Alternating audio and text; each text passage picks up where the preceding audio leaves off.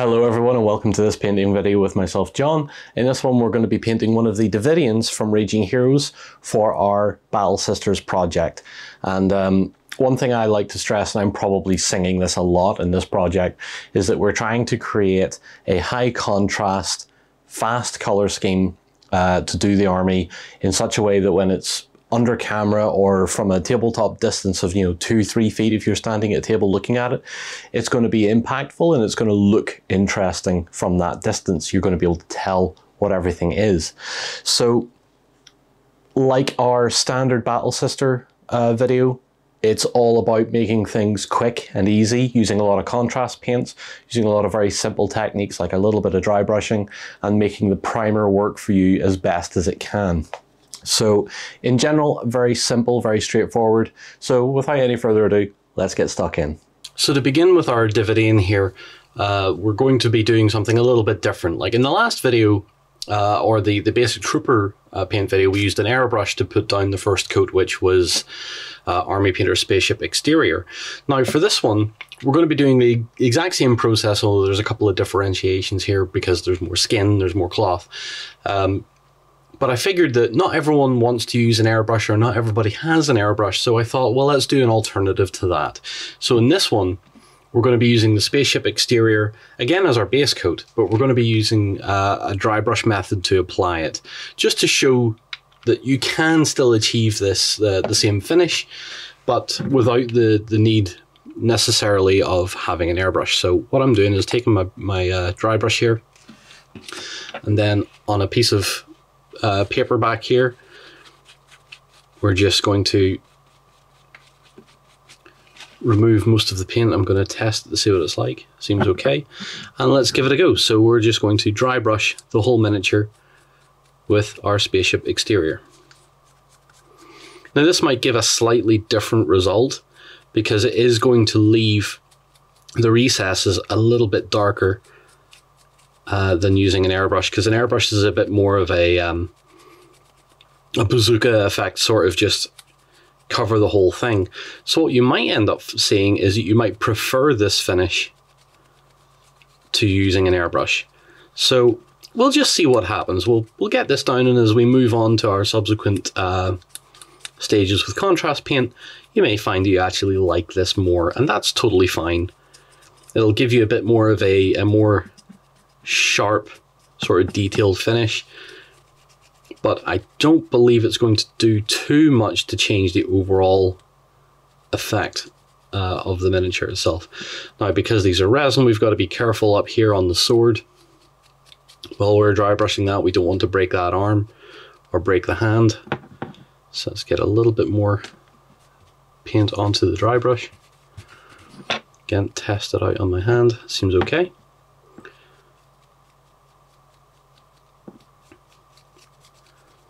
So yeah, we'll see what what this brings when we start to apply the other colors that we need for the miniature. With the dry brush complete, we can see that we've got a fairly good uh, finish there.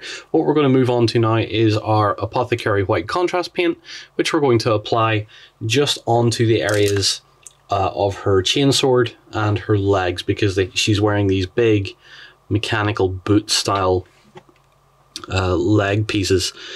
So again, we'll just apply the contrast paint over those areas because those are the areas that are going to be white. So we'll just continue to do that. With the Apothecary White now dry, we can move on to our second dry brush. And as before, our second dry brush is Praxeti White. So we're going to be using a smaller dry brush for this. So I'm just, just going to set the pot there so you can see. So I'm using a smaller dry brush. And again, with a piece of cloth, we'll rub some of that off again. Check it to see if it's all right. Seems fine. And then we'll just start to dry brush over that area. Now we can dry brush the whole thing Praxeti White, so we're just going to go ahead and do that as well. It adds another shade and we'll keep it to more visible parts of the miniature That way we're forcing a little bit of light there.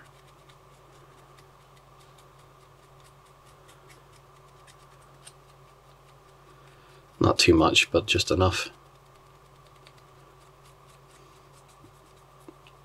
And if you wonder why what I mean when I say not too much, just enough, it's kind of more a you know when you see it sort of too much or or just enough. Because I would say that's probably enough there. I wouldn't want to add uh, much more than that. So let's move our pot away. And the next thing we're going to work on is her cloth, like the main color cloth. So she has a tabard and a hood there. And we're going to use Contrast Blood Angels Red for that. So give it a good shake.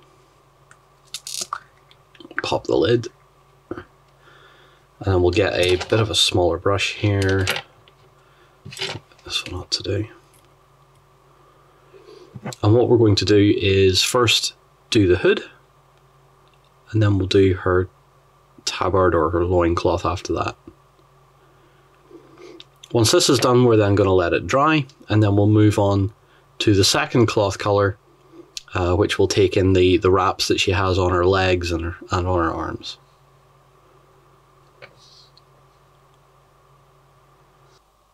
With the red now dry, we can move on uh, to the other, or one of the other colors. This one's going to be Skeleton Horde. Yep, another contrast paint. And we're going to be using this one uh, with a fairly small brush because we want to take in all the uh, the wraps and stuff that are on her here. So all these sort of like bandage-esque materials, I want to keep them that sort of color. So we're just going to whiz around the miniature and basically paint in all these parts. Now we're also going to be taking in the stuff that we left uh, without the red on it as well. We I just wanted the, the tabard and stuff like that. So we're going to be looking at painting those in as well. To make them look a bit more like parchment. So just a matter of taking that paint along those lines. With the skeleton horde dry, we can now move on to the skin, and for that we're going to be using Contrast Dark Oath Flesh. We're using this one because we have such a bright base coat that the Dark Oath actually looks better than the likes of the Guilliman Flesh, which would turn out a little bit too pink here. So I prefer that particularly uh, for this particular project. So again, we're going to just get in there, put some on our palette, make sure we have enough on the brush, and then we'll just give all her skin a coat. Being careful not to go over anything that we've already painted.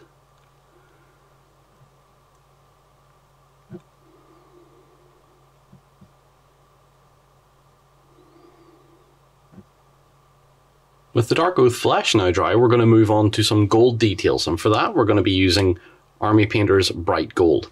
So again, just going around the miniature quickly, we'll put some down onto the wet palette and all we're looking to do is just quickly base coat anything that we want to be gold. So we're going to be looking at the likes of the icon here on our belt with the what appears to be a censer hanging below it. So we'll be painting all that in too. And we'll try and pick out the likes of the, the chains that are attaching all this to. This may take a couple of coats, but just be a little patient with it and then you'll have a good finish. With our gold details down, we're going to move on to some silver, and we're going to be using Army Painter's Shining Silver for that. Again, put a little bit onto our wet palette.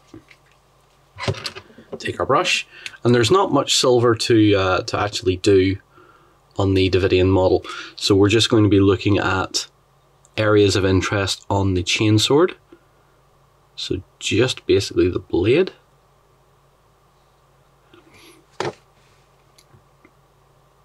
sort of take that right in.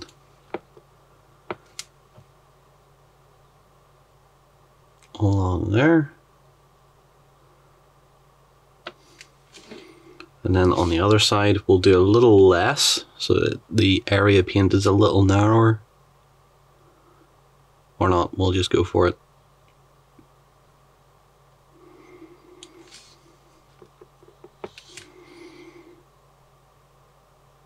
Just take your time on the top of the blades. With the silver now down, we're going to move back to the gold and we're going to start shading that with Agrax Earthshade. And again, we're just trying to get something nice and quick here. So just going to take some of that out of the pot because the lid doesn't want to stay open, which is a bit typical for me. And then we're going to quickly whiz around all our gold detail and give it a good shade.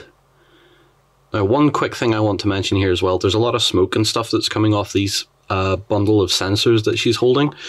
Uh, we will tackle those towards the end, but it's only going to be a very simple step. We don't want to add too much complexity uh, to the miniature with that. So always remember that we're trying to just keep this one nice and quick because we have a whole army to paint and we want to get it done in a relatively short space of time.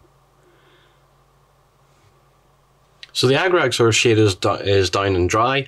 I've also added a, uh, a wash of Nuln Oil to the chain blade uh, just to get that in there as well.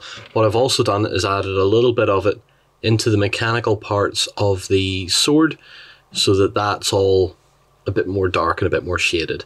So the last step I'm going to do uh, before the miniature is complete is we're going to take some Basilicanum Grey put a little bit of that onto the palette as well. And the aim here is just to paint in or just to give the smoke that's streaming out of these censers just a bit more shade to them. And that is the last step. And after painting the base and going over the, the miniature just for a little bit of touch up here and there, we have our Davidian finished. So I'm only using this camera angle because I want you guys to remember that this is all about getting the army done quick, getting it done in a way that is striking from the tabletop. So those big panels of white, the red and the the uh, visible skin and whatnot are what's going to draw your eye first. And particularly if we do a let's play on this, that those are the aspects that you're going to see most often from the angles that we'll be taking it. So remember that that is the aim, and that, that if that is the aim, I think we've done a fairly decent job. And uh, same with the uh, the regular uh, Battle Sister miniature as well. It's all about making them high contrast so that they're high impact. Uh, they they look good on the tabletop. So there's not really much else to say about that other than remember we're keeping the project simple, we're keeping the paint scheme uh, straightforward and effective. The miniatures in the army will get a matte varnish uh, before uh, they hit the tabletop, so they will probably change a little bit. They might be a bit more punchy depending on how the, the matte varnish dries. But all in all, another miniature to add to the army, and I think the Davidians in particular add a particular nice flair to it as well. They have a lot more red involved, a lot less white. They are going to look different from that tabletop distance as well. And that's really all I can say to it. Of course, guys, please leave your comments down below. Hopefully you're enjoying this uh, this project as you see it coming together and you're enjoying these little videos to see how uh, a quick you know, a, a, sort of quick high contrast army scheme comes together.